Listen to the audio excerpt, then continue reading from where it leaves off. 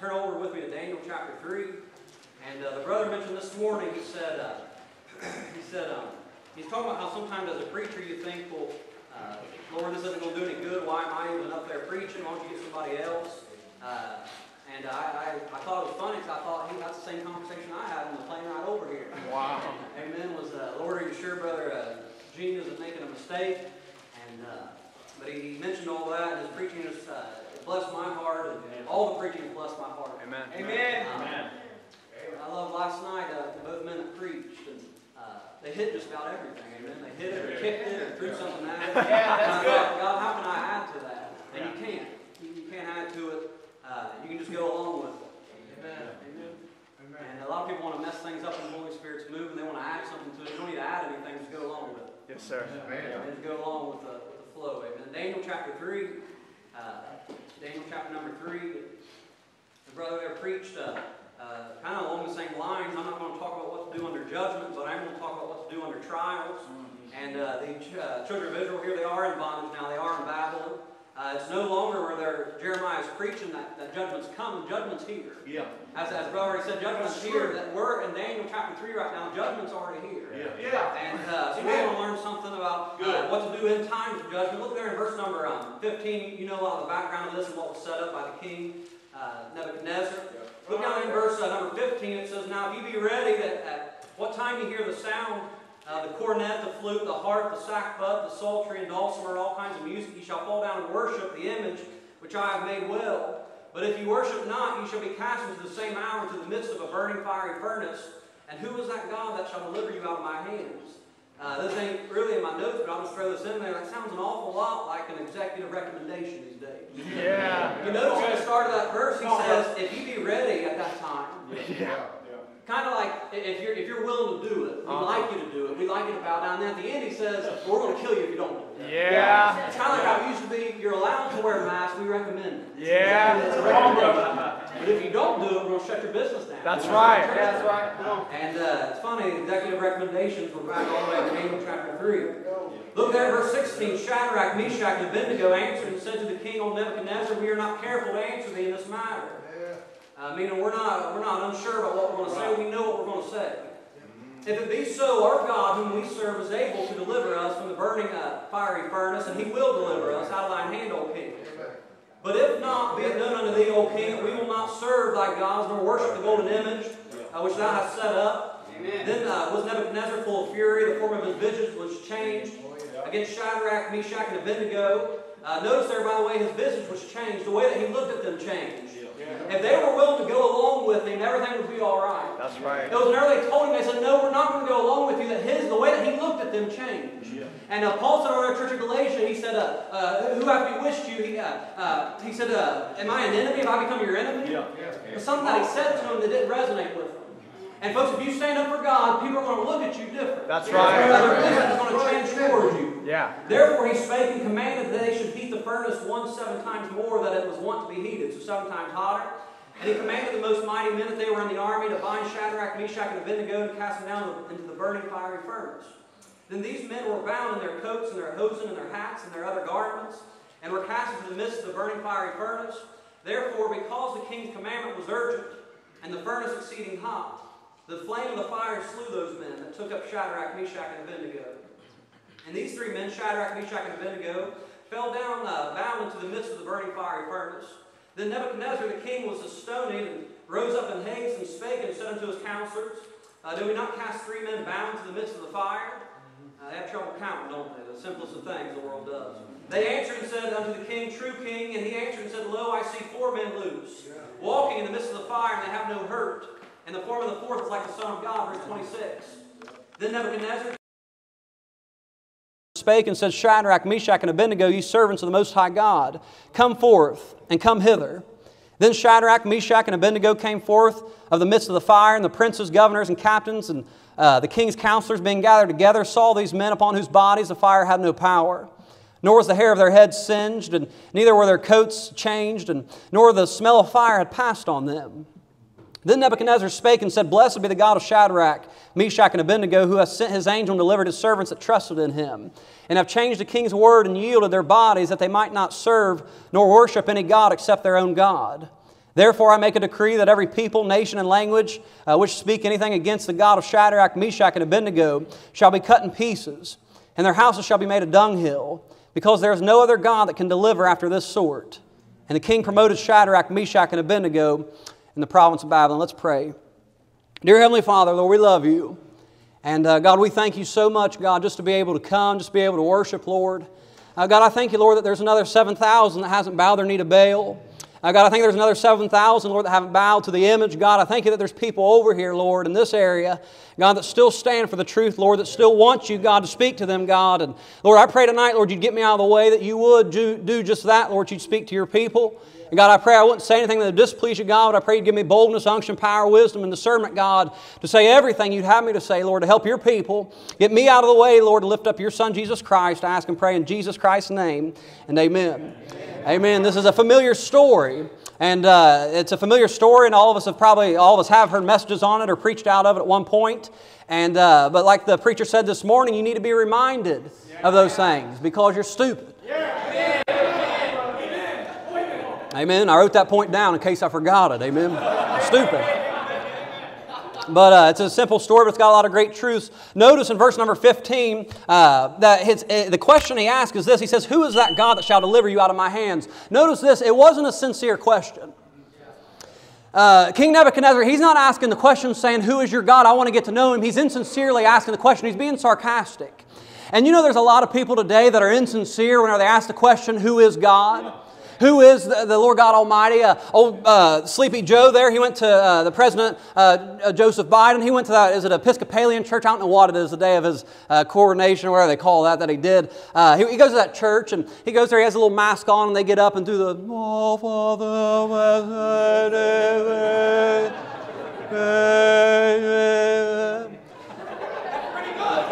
Pretty good. You ought to know I was the altar boy at my church, did you? But, anyways, uh, uh, he, he, gets up. Uh, he's not looking for God. He's not going there to actually seek who God is. You know, a lot of people don't want to know who God is. Whenever you get an idea of who God is and what He's about, you got to change. And that's why most people, they're not asking sincerely, who is God? He says, who is this God that'll deliver me or deliver you out of my hands? Can I say this? He found out by the end of the chapter who that God was. And I'll tell you this every person, boy or girl, young or old, black or white, rich or poor, Muslim, uh, Christian, Hindu, atheist, agnostic, they're going to know who God is one day. You're better off meeting Him here than in eternity. You say, Who's going to deliver you out of my hands? The same God that made your hands, King Nebuchadnezzar. He's going to be the one that's going to deliver them out of your hands. Verse number 12, I just want to, we didn't read it, but I want to bring uh, to your light that these are men. A lot of times we say that they were boys. It says uh, they were Jews, and it says, These men, O king, have not regarded thee. A lot of times uh, people think that they were boys, they're men. But this dedication, this, this determination, this discipline that they had, it started as a young boy, and I'll say this, they didn't change over time. I thank God for people that don't change over time. They, they didn't change their grown men, that they stuck to what they believed. Verse 17 through 18, uh, he, they, they give him an answer. They say, We're not careful to answer thee in this matter. And they give this answer. They say, King, uh, uh, if it be so, verse 17, our God whom we serve is able to deliver us. So he's able. They believe that. They're sure of it. And it says, And he will deliver us out of thine hand, O king. Now, notice there, that's pretty positive. They're not asking the question, man, I don't know if we're going to get through this. I don't know what, what, what's going to happen next. They're not, they're not in fear of it. They say, no, we know that God is going to deliver us. Yeah. Sure of it, man. But then they throw in a little disclaimer. I hate disclaimers, amen. Disclaimers are what keep you from being able to send the thing back once it's broke whenever you order online. Disclaimers. They put a little disclaimer down there. Look what it is. But if not, be it known unto thee, O king, that we will not serve thy gods nor worship the golden image which thou hast set up. Now, there are, just by way of introduction, there are all kinds of believers in the Bible throughout your Bible. There's all, believers are different. You can look through here tonight and see that believers are different. We're all different. We, God uses us for different things, different tasks. Uh, some, some of us are rich, some are poor. Uh, there are some believers that are helpful. Some, some people just are helpful. There's some believers that are hurtful. All kinds of believers. There's tall believers, there's short believers, there's skinny believers, and there's fat believers. Amen. I didn't make eye contact with anybody whenever I said that, but uh, There's some laid back believers, people that are just laid back in spirit, and there are what I call annoying believers. Amen. How many of you know an annoying believer? Amen. Amen. Exciting believers, boring believers, smart believers, dumb believers. There's all kinds. There's sensible believers, there's weird believers. There's bold believers and there's meek believers. But I wanted to look at a very special kind of believer tonight. A very special kind of believer. It's one that I call a but if not believer. A but if not believer.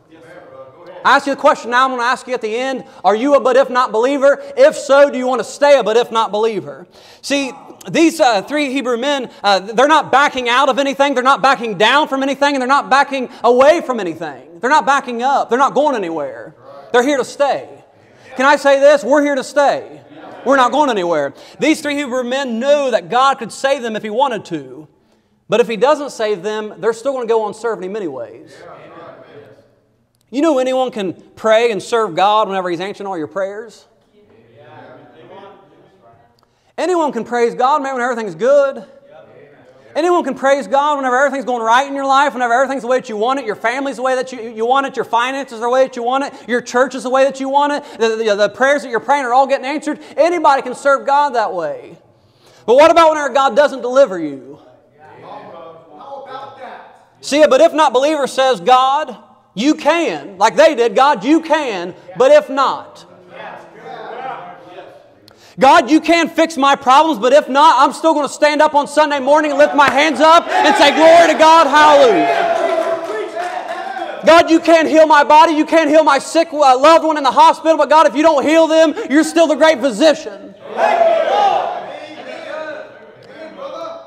God, you can't get change the government or the economy, but if not, God, I'm not going to quit on you. I'm not going to give up on you. I'm not going anywhere, God. God, you could build up my church. You can build up my ministry, God. But God, if another, if another soul never walks through the door, if I never see anyone else saved, God, I'm going to go on being faithful. God, you can, whatever it is, God, you can give me victory over this sin or, or, or not. God, you, you can give me victory over this sin. But if not, I'm going to go on anyways. Can I just pause right here?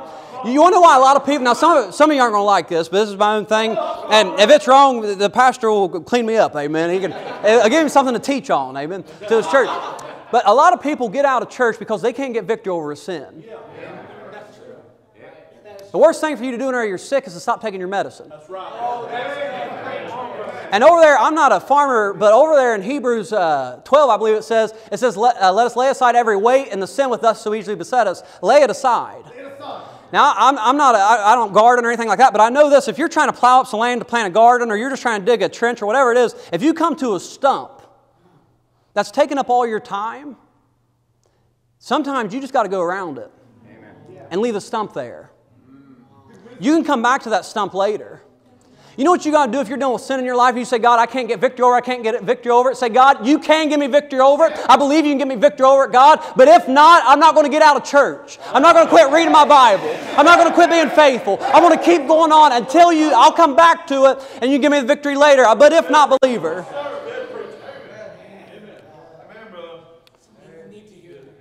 God, you could bring my prodigal son home. God, you could bring my prodigal granddaughter home. God, you could bring my wife back into the house of God and I could sit with her in church again like we used to. God, you could get my mother and father in church. You could say my mother and father. God, you could do that. You can do that, God. But if not, I'm not going to quit on you.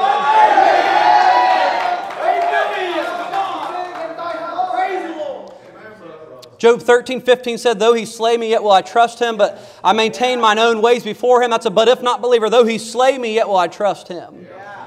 David said in Psalms 119, It is good for me that I have been afflicted and that I might learn thy statutes. I know, O Lord, that thy judgments, listen, thy judgments are right, and that thou in faithfulness hast afflicted me. He said, Thy judgments are right. You know what Abraham asked God? Shall not the judge of all the earth do right? Yeah. Now you got to think about something, folks. God makes decisions. If you're in a position of leadership or management or whatever it is, you got to make decisions all the time. And you know this, you're going to make one group mad and one group happy.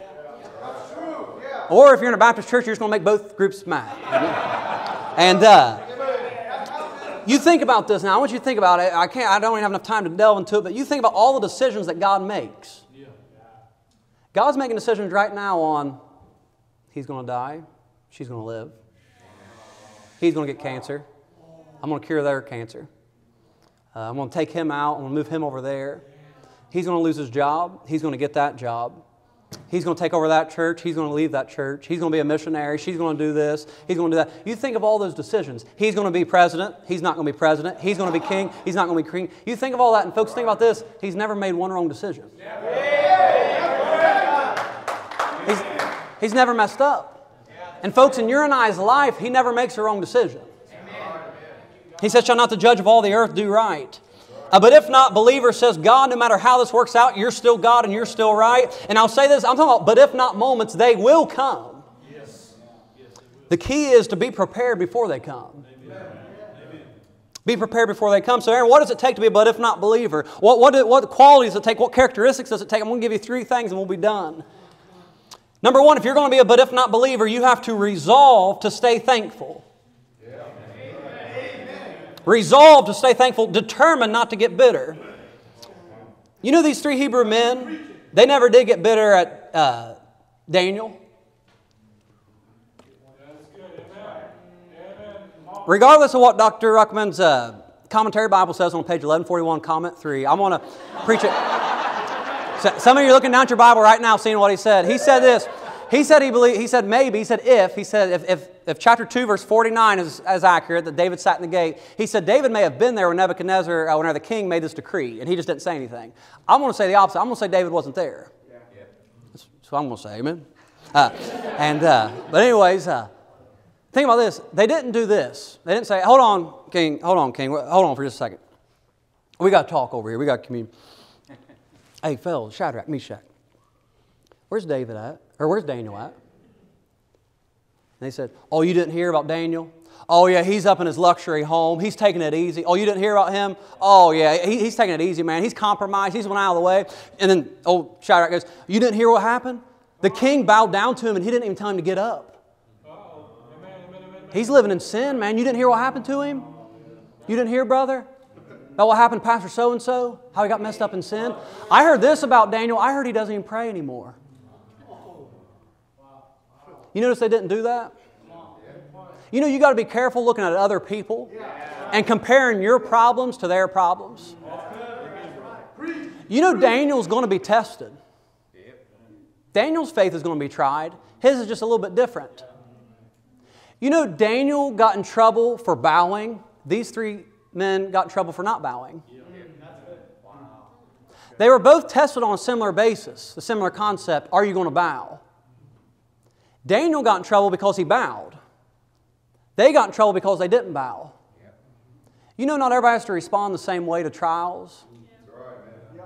You know, you can get in trouble thinking, uh, well, if they just would have done it this way, it would have turned out different for them. If they just would, if they, if they wouldn't have said that, or if she wouldn't have said that, or if they would have just raised their kids differently, or this way, or that way, or if he would just pastor his church this way, it all would have turned out. No, you don't know how God wants them to respond. You don't know how God wants them to act, what decisions they need to make. Whether by fire or by lions, every man is tested. Daniel's going to be tested down the road as well. Both were tested on a similar basis. Don't assume you know the reason why someone is, being, uh, is going through tribulations. Don't assume that everyone else should respond the same way. And Daniel 3, uh, uh, the king, he, uh, he makes that fiery furnace there. And if you notice, it's kind of out of nowhere. It's kind of a random rule. He just says, I'm going to make up a rule that if we play this music, you don't down to this, this statue, uh, we're going to throw you into a fiery furnace. Kind of comes up out of nowhere. Their clothes are still on when they go into the furnace. Kind of showed up out of nowhere, didn't it? Fiery trials will show up out of nowhere. It just takes one phone call. It takes you coming home from work one day and hearing some news that'll flip your world around. But they determined before it ever came up that they're going to stay on God's side. They would not bend, they would not bow, they did not get bitter. And as Brother Noel said in one of his messages I listened to, they would not boogie. Amen. They said, We're going to play some music, we want you to boogie like us. And they said, Nope, we're not going to boogie. Amen. And therefore, they did not burn. The fire that, I remember, I'm talking about being thankful, resolved to stay thankful. The fire that burned up others did not burn them up. Yeah. And bitterness will burn you up. Bitterness will burn you up, burn you out, and break you down. Bitterness will rob you of God's blessings. Bitterness will keep you from enjoying the blessings of God because you're bitter about something. I'll say this: I, I worked with uh, I worked in Columbus there for almost four years at an inner city church. Uh, we had a men's rehabilitation home there. We worked with men uh, struggling with uh, addiction and uh, different things like that, and homelessness. And then we had six meal services a day where they come in and listen to preaching first, and then they could get a free meal. They'd listen to preaching first, and they'd always someone would always come in and go, "Jesus didn't turn anybody away." Well, he preached to them for three days before he fed them. So we would preach to them, and uh, that's just the work. I did that for a couple years, and Lord willing, we're going to start another work like that soon here. Uh, but I would, man, I would, uh, those guys, they'd come in, and we had men sent from all over Texas and Alabama, Louisiana, and different places. And uh, a lot of times, I, uh, they, I, I, was the director of the men's home there for about two and a half years. And man, some of the things that those guys have been through, I mean, some wild stuff, stuff I wouldn't tell you, uh, but just some wild stuff. And uh, they came from everything from sticking needles in their arms to being felons and uh, everything else. Uh, and they just had a rough background. But I'll say this uh, you know, bitterness destroys way more people than booze and drugs do. You know, about, I'd say about 99% of the people in here tonight, you're not tempted with alcohol. And you're not tempted with dope. But I've seen bitterness destroy more Christian homes than anything else. A wife that's bitter about her husband, a husband that's bitter about his wife. Children that are bitter about their parents. That they don't make as much money as the other kids do in church, or they don't, they don't get to go to the other places that the other kids do in church. Bitterness will destroy more homes than dope ever will. And you have to determine in your heart that you're going to stay thankful to God and you're not going to get bitter. You're not going to get mad at God. You're not going to get resentful towards God. Be thankful for your family. Be thankful for your friends. Be thankful for faithful servants of God. You ought to be thankful for this church. Resolve to stay thankful. I want to hurry along here. Number two, if you're going to be a but if not believer, you got to resolve to stay thankful. Number two, you got to realize that it's only temporary. Realize that it's only temporary. These men are going to burn to death, or supposedly, and uh, burnings could last depending upon how, they, how, you, how you burn somebody. Uh, not that I've ever done it, but this is how you can do it different ways. Amen. Uh, but uh, I guess it depends on how you want them to taste when it's all said and done. Uh, it could last up to seven hours to burn alive. But this furnace was seven times hotter than usual. It was around seven and 9,000 degrees probably. So they would have burned up in less than two minutes. And their nerve fibers that would allow them to feel that, with probably within about 30 seconds, would have been singed off. My point is this: is it kind of it wouldn't have lasted that long. Now, I'm not saying I want to be burned to death, but I'm saying this think about 30 seconds. Could you endure pain for 30 seconds? You ever have a trial in life that you feel like it's never going to end? And then years later, you look back and you really don't even remember why you're so upset about it? You thought in the moment, man, this isn't going to end, this is going to last forever. And then years go by, time goes by, and you look back and someone brings it up, or your wife, somebody just mentions it, or something says, Do you remember this, or do you remember when that happened? And you start thinking, You're like, Man, I don't remember why I was so upset about it. Yeah. Y'all ever have anything like that? Big, big things. you thought you were not going to get through them, you thought this is it. I'm talking about you're getting ready to go out on a date and you got a big old zit on your nose. Those real bad, life altering, traumatic things. Amen. There's real serious. Your dad came up to you in church and embarrassed you in front of your boyfriend or something. I'm talking about those real serious things. No, I, am just joking, but really. Remember, God called you to service and you thought, God, I can't do this. Remember, you went through a financial problem and you thought, God, I'm not going to make it through this. You went through a health problem, whatever it is, whatever, whatever trial, and you said, God, I don't think I'm ever going to make through this. I'm looking at you tonight and you're here. As far as tonight goes, it's a 100% success rate for everybody in here. Amen. The CDC can fudge their numbers. We're going to fudge ours a little bit. Amen. Just like the COVID's 100% death rate, it's a 100% success rate for everybody in here. Amen. We're all doing good. Realize you won't realize this. You won't remember it in eternity. You're not going to remember it. Revelation 21, I heard a great voice out of heaven saying, Behold, the tabernacle of God is with men. He will dwell with them. They shall be his people, and God himself shall be with them. Amen. Can't wait till he's here himself. Amen. God shall wipe away all tears from their eyes. There shall be no more death, nor sorrow, nor crying, nor there shall be any pain, for the former things are passed away. Behold, I make all things new. Isaiah 65, for behold, I create new heavens and a new earth. The former earth shall not be remembered nor come into mind. Spiritual Alzheimer's, amen. You won't remember.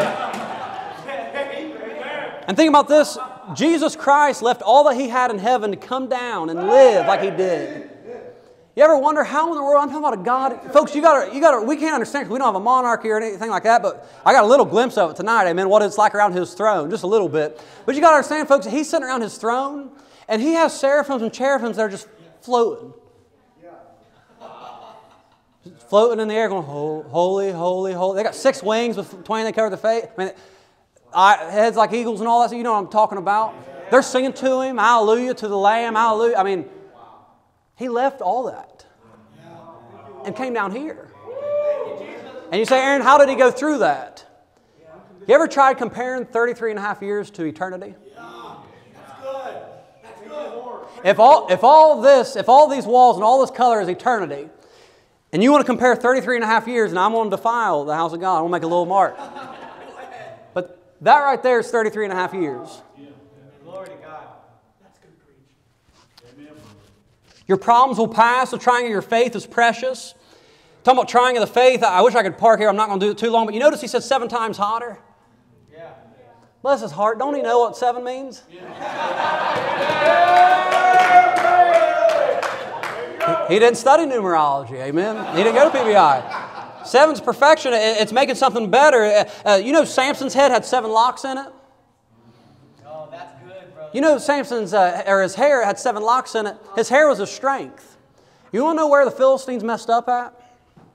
They shaved his head. You know what happens when you shave something? grows back thicker. You know what happens when your enemy comes against you and they heat up the furnace seven times hotter? God's using them to perfect you. And I'll say this it may get you in this life, maybe it takes you out, I don't know, but I know this whenever you come back, you're going to be stronger and better than ever. That's good, brother. Praise the Lord. Thank you, Lord. Amen. Realize it's only temporary.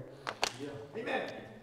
I can't sing, but there's that one song I like to sing. I, I sing because I like to sing, not because I'm a good singer, but there's that one song. Uh, there's this longing in my heart for His appearing. I'll gladly leave behind these trials here below. For this journey has been hard and I'm so weary. But Lord, I feel I'm so much closer to my home. And just any day now, our Lord is coming. He'll be returning for you and me. Oh, I've been watching and I've been waiting. Just any day now, His face I'll see. Realize it's only temporary. Just any day now, the Lord is coming back. Number three, what do you need to be a but if not believer? I don't know about you, but I want to be a but if not believer. I want to last, man. I want to last. Number one, resolve to stay thankful. Number two, realize it's only temporary. Number three, remember it's not about you, it's about them. Remember, it's not about you, it's about them. You say, what do you mean? When you go through a trial, the trial isn't just about you. Someone else is watching you and learning how a Christian ought to handle trials and tribulations. Daniel chapter 3, verse 25 the fire wasn't just for the three Hebrew men to be thrown into, but it was for the unbelieving king, the nation, and other believers. Did you notice this? When the king looked in, he said, I thought I threw in three, but there's more in there than what I, I thought. You ever notice this when you're street preaching? the way the world looks at you. Uh, you'll be on one corner and you'll be passing out a track, and, uh, or someone is passing out a track down the road, I guess, from you, and, and, you're on the next corner, and somebody will come by and you offer them a track, and they go, No, I don't want one. And they, when they walk by, they say this, they go, Man, those guys are everywhere. no, we're not. There's just three of us, Halls. You, you've been learning to count by the CDC and who. You're exaggerating the numbers. They saw, they saw Jesus Christ. Uh, they, they saw more than uh, what was there. They, they finally, for the first time, saw Jesus Christ. And, folks, people need to see Jesus Christ through your trials. He said over in Isaiah 48, everybody talks about, I want to be with God, I want to be with God. The three Hebrew men found out that God is in the fire. Isaiah 48, 9 through 10 says, For my name's sake I will defer my anger, and for my praise will I re- refrain for thee, that I will not cut thee off. Behold, I have refined thee but not with silver. I have chosen thee in the furnace of affliction. You want to get closer to the Lord? He's still in the fire. The time you'll see God the Moses in trials, but you have to be willing to go through the fire to get there. Why is it important to be a but if not believer? What are, why are these but if not moments important for us? Daniel chapter 3, you got to get this. This is real deep. Real deep. Amen. We're going to dive real deep here. Daniel chapter 3 wasn't written for these three Hebrew men. God didn't have this recorded for Shadrach, Meshach, and Abednego.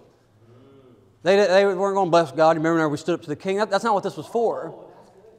It was for the people coming after them. That's good, Amen. Amen. Can I just be real with you? You want to know why God lets you struggle at your church? Come on, brother. Because there's a generation of preachers coming up behind you. And we don't get to be in the glory days. Right.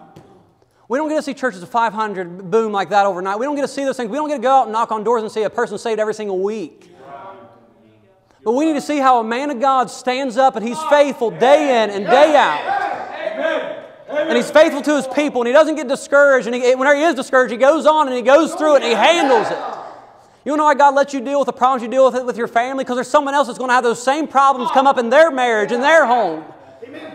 And they got to know how to handle it. Your problems is not about you, it's about others, it's about them. And others need an example. Uh, my uh, wife and I, uh, we just had a son uh, back in October 6th. Amen. He's two months old. We still got the new baby smell. Amen.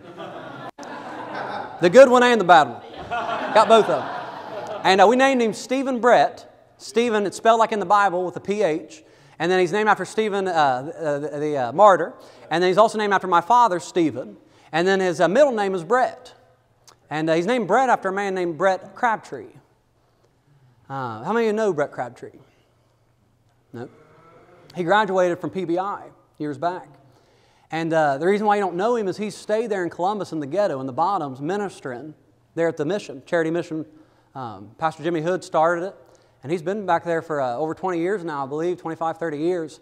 And uh, whenever I started taking over the men's home, uh, Pastor Joe was going to give it to Brother Crabtree and say, Brother Crabtree, I want you to direct it now.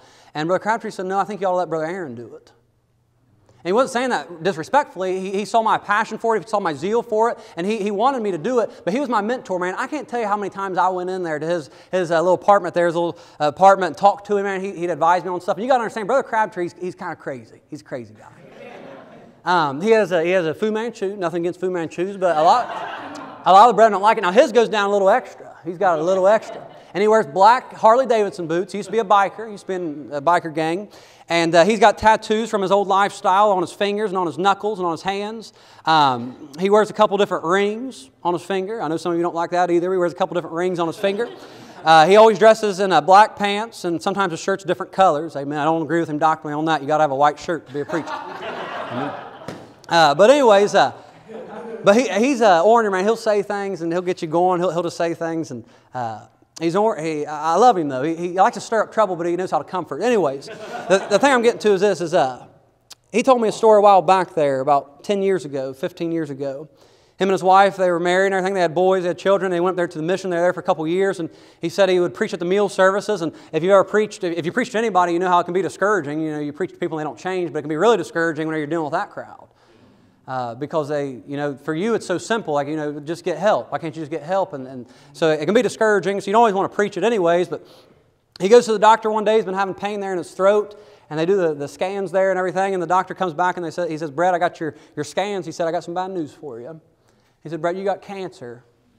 Uh, you got cancer up here in your neck. And he said, uh, it spread a little bit. We're going to take it out. We're going to have surgery. And, um, and he got that news. And uh, Brother Crabtree, you know, he went home and uh, he, he went home, and when he walked through the door, he said he walked through the door, and he said all the luggage was all packed. He said, Honey, he said, What's going on? She came out of the hallway and she goes, Brett, I'm leaving you.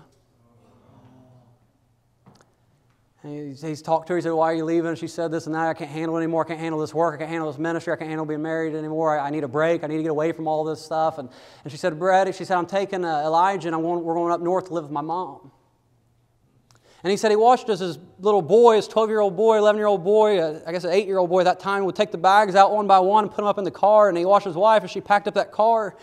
And she drove off and drove away. And he was supposed to preach that night, the meal service, 6 o'clock. And he said he remembered he just did the only thing that he knew to do. He said he went in and got on his dress pants. He said he went and got on his shirt and his tie. And he said he got his Bible together and he didn't want to go over there early this time. He said he, and he said he, he got to that door and he came up to that door and he said he put his hand on it. He said he, he bowed his head at the door and he thought this to himself God, why? God, why? You know what he did next? He opened up the door, he walked next door, and he preached to a bunch of drunks and homeless and told them about Jesus. You say, what did he do? He kept on going. He kept on going. And you know what, Aaron Cowgill, you know what I do sometimes whenever I don't feel like preaching? When I don't feel like going to the nursing home and visiting somebody, when I don't feel like going to the hospital and visiting somebody, whenever I'm tired or weary, you know what I think of? I think of Brother Crabtree. Yes. Yes. I think, would he do it? Would he, would he keep going on? Yes.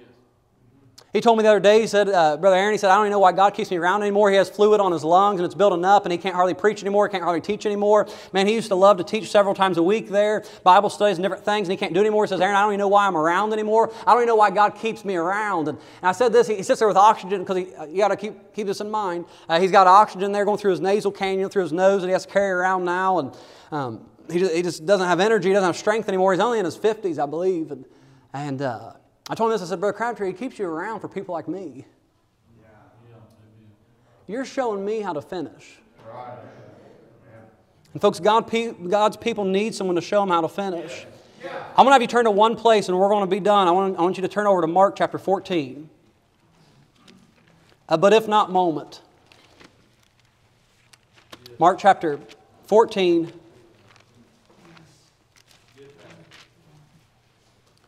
You know, Jesus Christ had a but if not moment in his life. Mark chapter 14, verse 35, and he went forward a little and fell on the ground and prayed that if it were possible. Mark 14, verse 35. He went forward a little and fell on the ground and prayed that if it were possible, that the hour might pass from him. And he said, Abba, Father, all things are possible unto, unto thee. Take away this cup from me. Nevertheless, not what I will, but what thou wilt. Jesus Christ said, God, I know that you're able to do all things. He said, but nevertheless. That was his but if not moment. You say, Aaron, why did he go through his but if not moment? See, it wasn't about him. It was about you and you and you and you and you and you and you and you and you. And your but if not moment's not about you, it's about others. We need, uh, don't forget, folks, why we're in this thing. We're in it for the Lord and we're in it for each other. Yes. Amen. It's, time, it's time to determine that we're here to stay regardless of how things go. We have to stick together. Quit splitting up with people over stupid stuff yes. and how they react to their trials and their temptations and whether or not they bow or don't bow. And this evening, you may be saying, maybe it's your time tonight to say, God, you can, but if not, I'm not going to quit. Maybe someone in here tonight is considering quitting. Maybe you'd like to determine now, God, I don't know what you have in store for me, but God, I want to be able to go through the fire whenever it comes. Amen. Determine your heart tonight. Resolve to stay thankful. Remember it's only temporary. Realize it's not about you, it's about them. And if you do these things, you'll, you will be rewarded for your trial. You know how it all ended? A king told him to come up hither. And he rewarded him. I want to have something where He says, Come up hither. Someday my life will end. I'll hear a sweet sound saying, Child, enter in. You've won your crown. And though I don't deserve such mercy and grace, here's what I'm gonna do. When I see His sweet face, I'm gonna lay my crown at the Master's feet and then I'll bow down as they crown him King of Kings. I'll shout hallelujah, my joy is complete when I lay my crown at the Master's feet. Don't you want a crown? Amen. Dear Lord, we love you. Thank you, Lord, for loving us, God. Thank you for being good to us, Lord. And God, I pray, Lord, tonight God, you'd help some people in here to determine that they're going to go on for you. Uh, Lord, maybe you're asking them to step out by faith and do something, Lord, and they don't understand why. Uh, God, they don't understand how it's all going to work out or if it's going to work out. God, I pray tonight, God, they'd say, but if not, I'll go on and do it anyways, Lord. And God, I pray, Lord, you'd help your people, Lord, tonight, God, to help us, Lord, to be resolved. God, help us to be determined, Lord, to stay in it, Lord, to stay with it, to stay together, Father, as those three Hebrew men did. God, help us to stay together, Lord. We love you. We thank you and praise you, Lord. I pray you bless the pastors he moderates. Lord, bless the people down here praying. And God, we love you and thank you. Ask all in Jesus Christ's name and amen.